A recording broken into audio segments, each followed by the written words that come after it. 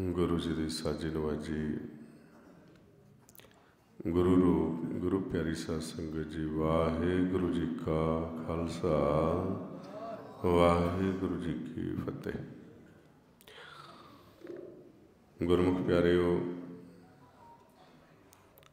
ਆਪਾਂ ਸਤਿਗੁਰੂ ਸ੍ਰੀ ਗੁਰੂ ਗ੍ਰੰਥ ਸਾਹਿਬ ਜੀ ਦੀ ਸ਼ਰਨ ਵਿੱਚ ਸਤ ਸੰਗਤ ਰੂਪ ਵਿੱਚ ਇਕੱਤਰ ਹੋ ਕੇ ਵਾਹਿਗੁਰੂ ਗੁਰਮੰਤਰ ਦਾ ਸਿਮਰਨ ਕਰ ਰਹੇ ਹਾਂ।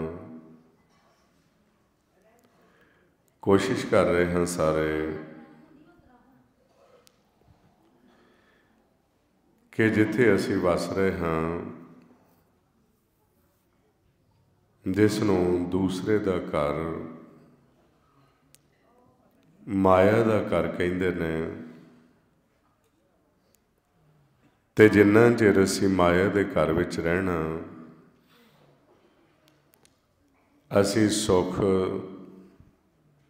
ਤੇ ਆਨੰਦ ਅਵਸਥਾ ਦੇ ਵਿੱਚ ਰਹਿ ਸਕੀਏ। ਇਹ ਆਪਾਂ ਪੁੱਛਿਆ,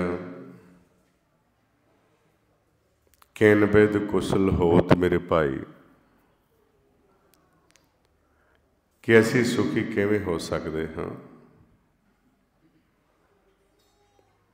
ਤਾਂ ਮਾਰੇ ਸੱਚੇ ਪਾਤਸ਼ਾਹ ਫਿਰ ਸਮਝਾਉਂਦੇ ਕਿ ਜਦੋਂ ਤੁਸੀਂ ਆਪਣੇ ਘਰ ਵਿੱਚ ਹੁੰਦੇ ਹੋ,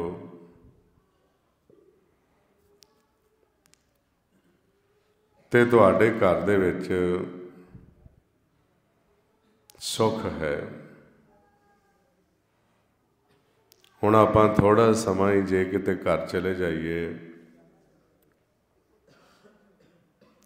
ਤੇ ਮਨ ਸੁਖ ਤੇ ਆਨੰਦ ਵਿੱਚ ਚਲਾ ਜਾਂਦਾ ਹੈ। ਜਦੋਂ ਆਪਾਂ ਰਾਤ ਨੂੰ ਪਾਉਣ ਨੂੰ ਛੱਡਦੇ ਹਾਂ ਪਾਉਣ ਨੂੰ ਛੱਡਣ ਤੋਂ ਬਾਅਦ ਕੁਝ ਸਮੇਂ ਲਈ ਮਨ ਆਪਣੇ ਕਰ ਜਾਂਦਾ ਹੈ। ਹਰ ਕੋਈ, ਸੇ ਕੋਈ ਵੀ ਹੈ। ਉਹ ਘਰ ਵਿੱਚ ਜਾਣ ਤੋਂ ਬਾਅਦ ਜਿਹੜੇ ਤੇ ਗੁਰਮੁਖ ਮਾਤਾ ਪਿਤਾ ਨੂੰ ਪਹਿਚਾਣਦੇ ਨੇ, ਜਿਨ੍ਹਾਂ ਨੂੰ ਆਪਣੇ ਮਾਤਾ ਪਿਤਾ ਦੀ ਪਹਿਚਾਣ ਗੁਰੂ ਦੇ ਰਾਹੀਂ ਹੋਈ ਹੈ, ਤੇ ਉਹ ਘਰ ਵਿੱਚ ਬੈਠਦੇ ਨੇ, ਮਾਤਾ ਪਿਤਾ ਨਾਲ ਗੱਲਾਂ ਬਾਤਾਂ ਕਰਦੇ ਨੇ। ਤੇ ਘਰ ਵਿੱਚ ਸੁੱਖ ਲੈਂਦੇ ਨੇ। ਤੇ ਦੂਸਰੇ ਜਿਹੜੇ ਜਾਂਦੇ ਨੇ ਘਰ ਵਿੱਚ, ਉਹਨਾਂ ਨੇ ਗੁਰੂ ਦੇ ਰਾਹੀਂ ਮਾਤਾ ਪਿਤਾ ਦੀ ਪਹਿਚਾਨ ਨਹੀਂ ਕੀਤੀ ਹੁੰਦੀ। ਤੇ ਉਹ ਘਰ ਜਾ ਕੇ ਥੋੜਾ ਚਿਰ ਘਰ ਬੈਠਦੇ। ਉਥੋਂ ਤਰਲੋਕੀ ਵਾਲੇ ਪਾਸੇ ਦੇਖਣੇ ਸ਼ੁਰੂ ਕਰ ਦਿੰਦੇ ਨੇ। ਤੇ ਸੁਪਨਾ ਸ਼ੁਰੂ ਹੋ ਜਾਂਦਾ ਹੈ। ਉਹ ਸੁਪਨੇ ਵਿੱਚ ਚੱਲਦੇ ਹੋਏ ਫਿਰ ਵਾਪਸ ਮਾਇਆ ਦੇ ਘਰ ਵਿੱਚ ਆ ਜਾਂਦੇ ਨੇ। ਇਸ ਵਾਸਤੇ ਮਾਰੇ ਸੱਚੇ ਪਾਤਸ਼ਾਹ ਕਹਿੰਦੇ, ਅਸੀਂ ਜਾਂਦੇ ਸਾਰੇ ਹੀ ਘਰ ਹਾਂ। ਤੇ ਘਰ ਵਿੱਚ ਸੁੱਖ, ਆਨੰਦ ਹੁੰਦਾ ਹੈ। ਭਾਵੇਂ ਥੋੜਾ ਚਿਰ ਹੀ ਜਾਂਦਾ। ਐ ਮਨ ਹੌਲਾ ਹੋ ਜਾਂਦਾ ਹੈ। ਗਿਆਨ ਇੰਦਰੀਆਂ ਸੁੱਖ ਵਿੱਚ ਚਲੀਆਂ ਜਾਂਦੀਆਂ ਨੇ। ਜਦੋਂ ਮਨ ਆਪਣੇ ਘਰ ਵਿੱਚ ਹੁੰਦਾ ਹੈ, ਸੁੱਖ ਵਿੱਚ ਹੁੰਦੀਆਂ ਨੇ। ਹੁਣ ਆਪਾਂ ਇਹ ਕੋਸ਼ਿਸ਼ ਕਰਨੀ ਹੈ ਵੀ ਜਦੋਂ ਆਪਾਂ ਪਾਉਣ ਨਾਲੋਂ ਵੱਖ ਹੋਈਏ ਤੇ ਜ਼ਿਆਦਾ ਸਮਾਂ ਘਰ ਵਿੱਚ ਬੈਠਾ ਜਾਏ। ਉਸ ਵਾਸਤੇ ਆਪਾਂ ਹੁਣ ਮਿਹਨਤ ਕਰ ਰਹੇ ਹਾਂ। ਸ਼ਬਦ ਦੀ ਕਮਾਈ ਕਰ ਰਹੇ ਹਾਂ। ਤੇ ਜਦੋਂ ਅਸੀਂ ਪਾਉਣ ਤੋਂ ਵੱਖ ਹੋਵਾਂਗੇ, ਜ਼ਿਆਦਾ ਸਮਾਂ ਘਰ ਵਿੱਚ ਬੈਠਾਂਗੇ। ਤੇ ਘਰ ਵਿੱਚੋਂ ਫਿਰ ਸਾਨੂੰ ਸੁੱਖ ਮਿਲੇਗਾ। ਆਨੰਦ ਪ੍ਰਾਪਤ ਹੋਵੇਗਾ। ਤੇ ਉਥੇ ਬੈਠਣ ਦੇ ਨਾਲ ਨਾਲ ਫਿਰ ਸਾਨੂੰ ਖੁਰਾਕ ਮਿਲੇਗੀ ਅੰਮ੍ਰਿਤ ਰਸ। ਹੁਣ ਜਿਹੜੇ ਤਾਂ ਗੁਰਮੁਖ ਨੇ, ਉਹ ਫਿਰ ਜਦੋਂ ਨਿੱਜ ਘਰ ਵਿੱਚ ਜਾਂਦੇ, ਉਥੇ ਉਹ ਗੱਲਬਾਤ ਕਰ ਲੈਂਦੇ ਨੇ ਮਾਤਾ ਪਿਤਾ ਨਾਲ। ਉਹਨਾਂ ਬਾਰੇ ਬਾਣੀ ਵਿੱਚ ਫਰਮਾਉਂਦੇ, ਜਾ ਤੋ ਭੀਤਰ ਮਹਿਲ ਬਲਾਵੇ ਤਾਕੋ ਭੀਤਰ ਮਹਿਲ ਬੁਲਾਵੇ, ਪੁੱਛੋ ਬਾਤ ਨਰੰਤੀ। ਉਥੇ ਉਹ ਮਾਤਾ ਪਿਤਾ ਦੇ ਨਾਲ ਭੇਦ ਦੀਆਂ ਗੁਪਤ ਗੱਲਾਂ ਕਰਦੇ ਨੇ। ਕਿਉਂਕਿ ਮਾਤਾ ਪਿਤਾ ਬੋਲਦਾ ਹੈ ਤੇ ਬੱਚੇ ਉੱਥੇ ਗੱਲਾਂ ਕਰਦੇ ਨੇ।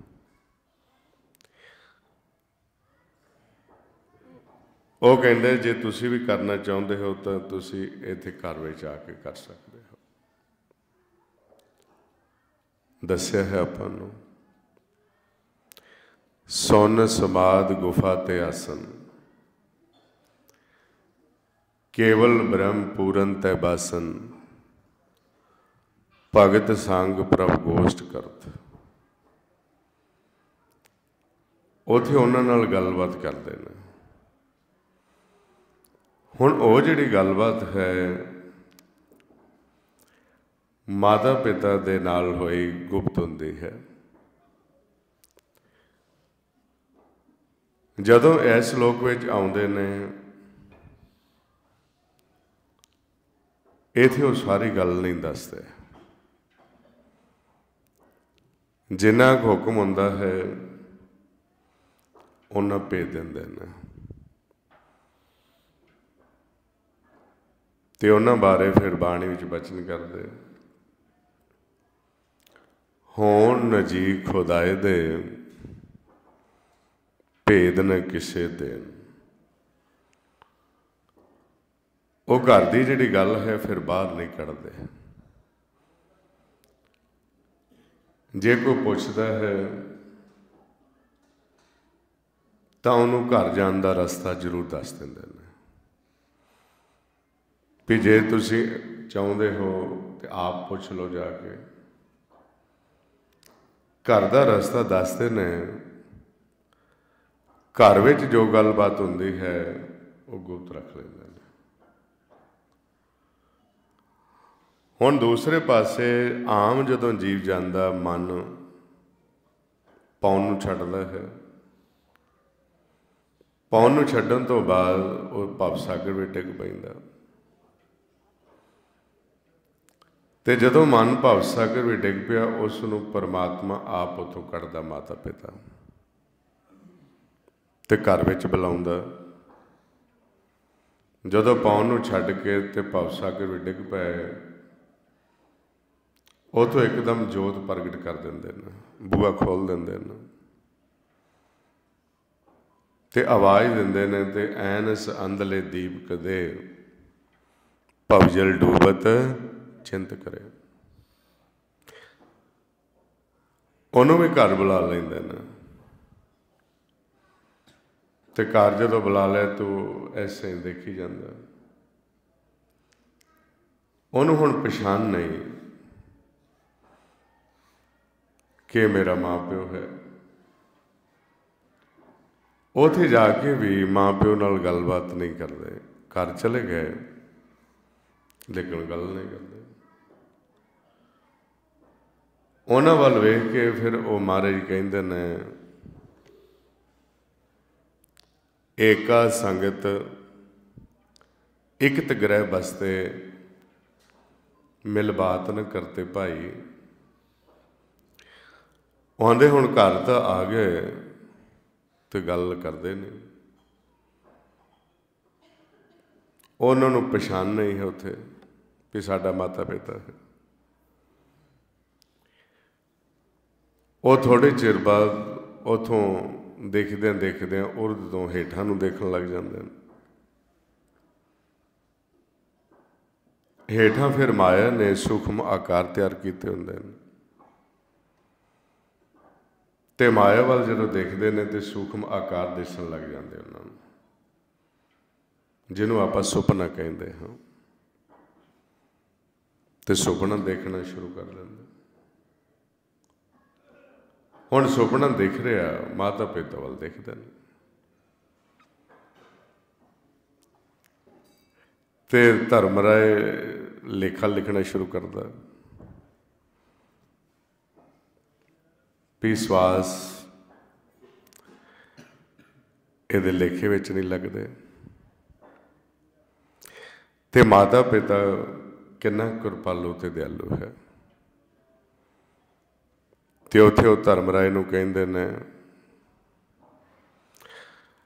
ਆਂਦੇ ਫਿਰ ਕੀ ਹੋਇਆ, ਜੇ ਸੁਪਨਾ ਦੇਖ ਰਹੇ ਨੇ ਤੇ ਬੈਠੇ ਤਾਂ ਮੇਰੇ ਕੋਲ ਹੀ ਨੇ। ਮਾਇਆ ਦੇ ਘਰ ਵਿੱਚ ਰਹਿਣ ਨਾਲੋਂ ਤਾਂ ਇਹ ਸੁਪਨਾ ਚੰਗਾ ਹੈ। ਤੇ ਉਥੇ ਮਾਰੇ ਕਹਿੰਦੇ ਨੇ, ਜਾਗਣ ਤੇ ਸੁਪਨਾ ਭਲਾ। ਵਸੀਏ ਪ੍ਰਭ ਕੇ ਸੰਗ। ਹੁਣ ਜਿਸ ਤਰ੍ਹਾਂ ਤੁਸੀਂ ਦੇਖੋ ਕਈ ਦਫਾ ਬੱਚਾ ਜੇ ਕੋਈ ਕੰਮ ਕਰ ਨਹੀਂ ਕਰਦਾ ਤੇ ਘਰੇ ਰਹਿੰਦਾ ਤੇ ਕਈ ਦਫਾ ਮਾਪਿਓ ਕਹਿੰਦੇ ਨੇ ਕੋਈ ਗੱਲ ਨਹੀਂ, ਘਰ ਤਾਂ ਬੈਠਾ ਹੀ ਹੋਇਆ ਨਾ। ਹੁਣ ਇਸ ਦਾ ਮਾਤਾ ਪਿਤਾ ਕਿਰਪਾਲੂ ਤੇ ਦਿਆਲੂ ਨੇ, ਉਹ ਕਹਿੰਦੇ ਨੇ ਜਾਗਣ ਤੇ ਸੁਪਨਾ ਪਲਾ। ਦੇਖ ਰਿਹਾ ਹੈ ਸੁਪਨਾ, ਪਰ ਉਹਦੇ ਮਾਇਆ ਦੇ ਘਰ ਵਿੱਚ ਰਹਿਣ ਨਾਲੋਂ ਤਾਂ ਇਹ ਸੁਪਨਾ ਵੀ ਚੰਗਾ ਹੈ। ਵਸੀਏ ਪ੍ਰਭ ਕੇ ਸੰਗ। ਹੁਣ ਮਨਮੁਖ ਉੱਥੇ ਜਾਂਦਾ ਜ਼ਰੂਰ ਹੈ, ਪਰ ਗੱਲ ਨਹੀਂ ਕਰਦਾ। ਤੇ ਸੁਪਨਾ ਦੇਖ ਕੇ ਵਾਪਸ ਆ ਜਾਂਦਾ ਹੈ। ਫਿਰ ਮਾਇਆ ਦੇ ਘਰ ਵਿੱਚ।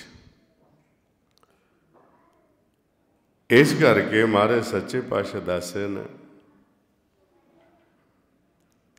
ਕਿ ਉਸ ਨੂੰ ਸੁੱਖ ਦਾ ਨਹੀਂ ਪਤਾ। ਉਸ ਨੂੰ ਅਸਲ ਵਿੱਚ ਪਤਾ ਹੀ ਨਹੀਂ ਸੁੱਖ ਕੀ ਹੁੰਦਾ ਹੈ। ਉਥੇ ਜਾ ਕੇ ਵੀ ਸੁਪਨਾ ਦੇਖ ਕੇ ਆ ਗਿਆ। ਇੱਥੇ ਫੇਰ ਮਾਇਆ ਦੇ ਵਿਚਾਰਾਂ ਵਿੱਚ। ਇਹ ਗੁਰਮੁਖ ਜਦੋਂ ਐਸ ਇਲਾਕੇ 'ਚ ਸਵੇਰੇ ਆਉਂਦੇ ਨੇ ਇਥੋਂ ਪਾਉਣ ਦੇ ਵਿੱਚ ਪ੍ਰਵੇਸ਼ ਹੋਣ ਦੇ ਨਾਲ ਹੀ ਇਹ ਦੂਤ ਮਗਰ ਲੱਗ ਤੁਰਦੇ ਨੇ। ਵਿਚਾਰ ਚੱਲਣ ਲੱਗ ਪੈਂਦੇ। ਤੇ ਉਹ ਦੇਖਦੇ ਉਹਦੇ ਘਰ ਵਿੱਚ ਸੁੱਖ ਸੀ। ਹੁਣ ਬਾਹਰ ਆ ਗਏ ਹਨ। ਧਿਆਨ ਤਾਂ ਰੱਖਦੇ ਨੇ ਉਹ। ਪੰਜ ਪਹਿਰੂਆ ਦਰ ਮੇ ਰਹਤੇ। ਤਿਨ ਕਾ ਨਹੀਂ ਪਤਿਆਰਾ, ਚੇਤ ਸਚੇਤ ਚਿਤ ਹੋਏ ਰੋ ਤਾਂ ਲੈ ਪ੍ਰਗਾਸ ਉਜਾਰਾ ਗੁਰਮੁਖ ਦੇਖਦੇ। ਪਰ ਫਿਰ ਵੀ ਵਿਚਾਰ ਮਾਇਆ ਵਾਰ-ਵਾਰ ਪ੍ਰਗਟ ਕਰਦੀ ਹੈ।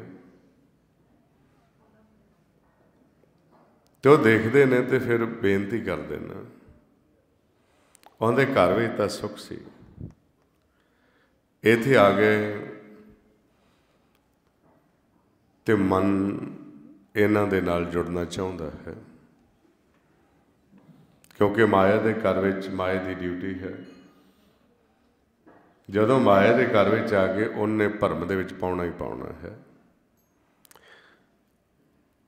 ਹਰ ਇੱਕ ਦੀ ਡਿਊਟੀ ਹੈ। ਜਿਹੜਾ ਵੀ ਕੋਈ ਜਿੱਤ ਕੇ ਗਿਆ, ਉਹ ਵੀ ਜਦੋਂ ਆਏਗਾ, ਮਾਇਆ ਨੇ ਉਹਦੇ ਮਗਰ ਵੀ ਲੱਗਣਾ ਹੈ। ਇਸ ਕਰਕੇ ਇਹ ਰੋਜ਼ਾਨਾ ਦਾ ਰੋਜ਼ਾਨਾ ਖੇਲ ਹੁੰਦਾ ਹੈ। ਆਪਾਂ ਸੰਗਤ ਵਿੱਚ ਆਏ ਹਾਂ, ਅਭਿਆਸ ਕਰ ਰਹੇ ਹਾਂ। ਤੇ ਤੁਸੀਂ ਸਿੱਖ ਰਹੇ ਹੋ, ਇਹਦੇ ਵਿੱਚੋਂ ਨਿਕਲਣਾ। ਪਰ ਫਿਰ ਜਦੋਂ ਤੁਸੀਂ ਜਾਓਗੇ, ਮਾਇਆ ਨੇ ਭਰਮ ਪਾਉਣਾ ਹੈ। ਤੇ ਵਾਰ-ਵਾਰ ਬਚਾ ਕਰਨਾ ਹੈ ਆਪਣਾ।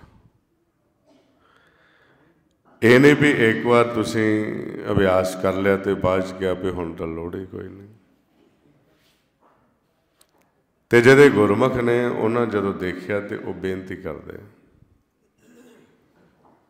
ਕਹਿੰਦੇ ਇਹੋ ਜਿਹਾ ਸੁੱਖ ਸਾਨੂੰ ਇੱਥੇ ਵੀ ਮਿਲਣਾ ਚਾਹੀਦਾ। ਤੇ ਮਾਲਕ ਨੂੰ ਬੇਨਤੀ ਕੀਤੀ। ਤਾਂ ਫਿਰ ਮਾਲਕ ਅੱਗੋਂ ਹੁਕਮ ਕਰ ਦੇਣਾ ਘਰ ਸੁਖ ਵਸਿਆ। ਬਾਹਰ ਸੁਖ ਪਾਇਆ। ਵੀ ਜੇ ਤੁਸੀਂ ਬਾਹਰ ਵੀ ਸੁਖ ਚਾਹੁੰਦੇ ਹੋ, ਜਦੋਂ ਘਰੋਂ ਨਿਕਲਣਾ ਹੈ, ਤੁਸੀਂ ਇਸ ਪਾਉਣ ਨੂੰ ਸਮ ਰੱਖਣਾ ਹੈ। ਤੇ ਪਾਉਣ ਨੂੰ ਸਮ ਰੱਖਣ ਵਾਸਤੇ ਤੁਸੀਂ ਗੁਰਮੰਤਰ ਨੂੰ ਦ੍ਰਿੜ ਕਰਨਾ।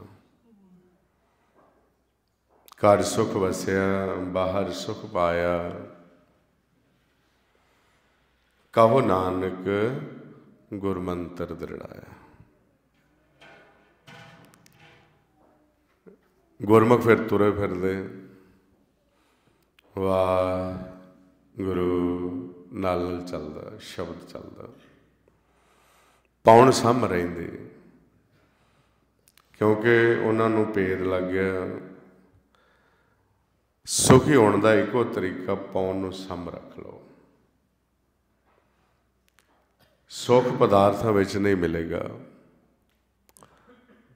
ਸੁਖ ਦੁਨਿਆਵੀ ਤਨ ਦੇ ਨਾਲ ਨਹੀਂ ਮਿਲੇਗਾ। ਕੁਸ਼ਲ ਨਾ ਗ੍ਰਹਿ ਮੇਰੀ ਸਭ ਮਾਇਆ। ਇਥੋਂ ਸਾਡਾ ਰਸਤਾ ਬਦਲ ਜਾਂਦਾ ਹੈ ਕਈ ਦਫਾ। ਜੀਵਨ ਦੀ ਜਾਂਚ ਜੀਵ ਨਹੀਂ ਸਿੱਖਦਾ। ਬੱਚਿਆਂ ਦੀ ਮਤ ਚੰਚਲ ਹੁੰਦੀ ਹੈ। ਉਹ ਚਾਹੁੰਦੇ ਨੇ ਕਿ ਅਸੀਂ ਬਹੁਤ ਸਿਆਣੇ ਹਾਂ। ਪਰ ਸਿਆਣਪਣੀ ਹੁੰਦੀ, ਉਹ ਚੰਚਲਤਾ ਹੁੰਦੀ ਹੈ। ਤੇ ਕਾਲ ਨੇ ਮਨ ਨੂੰ ਉਹ ਚੰਚਲਤਾ ਦੇ ਵਿੱਚ ਫਸਾਇਆ ਹੁੰਦਾ ਹੈ। ਤੇ ਉਹ ਦੁਨਿਆਵੀ ਸੁੱਖ ਲੱਭਦੇ ਲੱਭਦੇ ਤੇ ਆਪਣਾ ਬਹੁਤ ਲੰਮਾ ਸਮਾਂ ਉਹਨਾਂ ਪਦਾਰਥਾਂ ਨੂੰ ਇਕੱਠੇ ਕਰਨ ਵਿੱਚ ਲਗਾ ਦਿੰਦੇ ਨੇ। ਪਦਾਰਥ ਤੇ ਮਿਲ ਗਏ, ਪਰ ਮਨ ਦਾ ਸੁੱਖ ਨਹੀਂ ਮਿਲਦਾ। ਇਸ ਵਾਸਤੇ ਮਾਰੇ ਕਹਿੰਦੇ ਨੇ, ਚੰਚਲ ਮਤ ਹੈ ਬਾਰਕ ਬੱਪਰੇ ਕੀ, ਸਰਪਗਨ ਕਰ ਮਿਲੇ। ਚੰਚਲ ਮਤ ਵਿੱਚ ਅੱਗ ਨੂੰ ਵੀ ਹੱਥ ਪਾਉਂਦਾ, ਸੱਪ ਨੂੰ ਵੀ ਫੜਨ ਦੀ ਕੋਸ਼ਿਸ਼ ਕਰਦਾ ਤੇ ਦੁਖੀ ਹੁੰਦਾ ਹੈ। ਇਥੇ ਜਦੋਂ ਗੁਰਮੁਖਾਂ ਨੂੰ ਭੇਦ ਲੱਗਿਆ ਵੀ ਸੁਖ ਮਿਲਣਾ ਪਾਉਣ ਨੂੰ ਸਮ ਕਰਕੇ, ਹੋਰ ਕੋਈ ਤਰੀਕਾ ਨਹੀਂ ਹੈ ਤੇ ਉਹ ਪਾਉਣ ਨੂੰ ਸਮ ਰੱਖਦੇ ਨੇ ਤੇ ਪਾਉਣ ਨੂੰ ਸਮ ਰੱਖਣ ਵਾਸਤੇ ਸਿਮਰਨ ਕਰਦੇ। ਪਾਉਣ ਸਮ ਹੈ ਵਿਚਰ ਰਹੇ ਨੇ ਮਾਇਆ ਦੇ ਘਰ ਵਿੱਚ। ਉਹਨਾਂ ਦੇ ਉੱਪਰ ਮਾਇਆ ਦਾ ਅਸਰ ਨਹੀਂ ਹੁੰਦਾ। ਮਾਇਆ ਦਾ ਉਦੋਂ ਅਸਰ ਹੋਣਾ ਜਦੋਂ ਇਹ ਪਾਉਣ ਦਾ ਸੰਤੁਲਨ ਵਿਗੜ ਗਿਆ। ਪਾਉਣ ਸਮ ਰਹੇਗੀ ਤੁਹਾਨੂੰ ਕੋਈ ਗਾਲਾਂ ਵੀ ਕੱਢੀ ਜਾਏਗਾ ਤੁਸੀਂ ਆਨੰਦ ਵਿੱਚ। ਪਾਉਣ ਸਮ ਹੈ ਕੋਈ ਨੁਕਸਾਨ ਹੋ ਗਿਆ, ਤੁਸੀਂ ਕਹੋਗੇ ਕੋਈ ਗੱਲ ਨਹੀਂ। ਜੇ ਪੌਣ ਸਮ ਹੈ, ਕੁਝ ਵੀ ਹੋ ਜਾਏਗਾ, ਇਹ ਲੋਭ ਦੀ ਲਹਿਰ ਨਹੀਂ ਪੈਦਾ ਹੋਏਗੀ। ਮਾਇਆ ਦਾ ਜੋਰ ਲੱਗਣਾ ਹੈ ਵੀ ਦੂਤਾਂ ਨੂੰ ਲੈ ਕੇ ਵੀ ਇਹ ਪਾਉਣ ਨੂੰ ਇਹਦਾ ਸੰਤੁਲਨ ਵਿਗਾੜ ਦਿੱਤਾ ਜਾਏ। ਤੇ ਗੁਰਮੁਖਾਂ ਨੂੰ ਭੇਦ ਲੱਗ ਗਿਆ ਵੀ ਇਹਨੂੰ ਸਮ ਰੱਖਣਾ। ਉਹਨਾਂ ਤੇ ਅਸਰ ਨਹੀਂ ਹੋਏਗਾ। ਤੇ ਜਿਨੇ ਪੌਣ ਸਮ ਕਰ ਲਈ, ਉਹ ਆਂਦੇ, ਸੰਤੋ, ਮਨ ਪਵਨੇ, ਸੁਖ ਬਣਿਆ। ਕਿਛ ਜੋਗ ਪ੍ਰਾਪਤ ਗਣਿਆ। ਹੁਣ ਸੁਖ ਮਿਲਣਾ ਸ਼ੁਰੂ ਹੋ ਗਿਆ ਜਦੋਂ ਪਾਉਣ ਨੂੰ ਸਮ ਕਰ ਲਿਆ। ਤੋ ਕਿਤੇ ਵੀ ਬੈਠਾ ਹੈ, ਉਹ ਸੁਖ ਵਿੱਚ ਹੈ, ਆਨੰਦ ਵਿੱਚ ਹੈ। ਤੇ ਜੇ ਪਾਉਣ ਸਮ ਨਹੀਂ, ਤੇ ਸਾਰੇ ਪਦਾਰਥ ਕੋਲ ਨੇ, ਮਨ ਅਸ਼ਾਂਤ ਰਹੇਗਾ, ਦੁਖੀ ਰਹੇਗਾ। ਇਸ ਵਾਸਤੇ ਆਪਾਂ ਹੁਣ ਜਿਸ ਇਲਾਕੇ ਵਿੱਚ ਵਿਚਰਦੇ ਹਾਂ ਆ ਮਾਇਆ ਦਾ ਘਰ ਹੈ। ਇਥੇ ਫਿਰ ਕਿਵੇਂ ਸਿਮਰਨ ਕਰਨਾ ਹੈ, ਆਓ ਸਾਰੇ ਨਾਲ ਨਾਲ ਸਿੱਖਦੇ ਜਾਈਏ। ਇਥੇ ਆਪਾਂ ਸਿੱਖਣ ਵਾਸਤੇ ਆਏ ਹਾਂ ਬ੍ਰਹਮ ਵਿਦਿਆ। ਇਸ ਕਰਕੇ ਪੂਰੇ ਧਿਆਨ ਨਾਲ ਸੁਣਨਾ, ਨਾਲ ਨਾਲ ਆਪਣਾ ਪ੍ਰੈਕਟੀਕਲ ਕਰਨਾ ਹੈ। ਆਪਣੀ ਮੱਤ ਨੂੰ ਛੱਡਣਾ ਤੇ ਫਿਰ ਆਪਾਂ ਨੂੰ ਅੱਗੇ ਦਾ ਭੇਦ ਮਿਲੇਗਾ। ਆਓ ਸਾਰੇ ਜਣੇ ਰਲ ਕੇ। ਵਾਹਿਗੁਰੂ ਵਾਹਿਗੁਰੂ ਵਾਹਿਗੁਰੂ ਵਾਹਿਗੁਰੂ। ਗੁਰੂ ਵਾਹਿਗੁਰੂ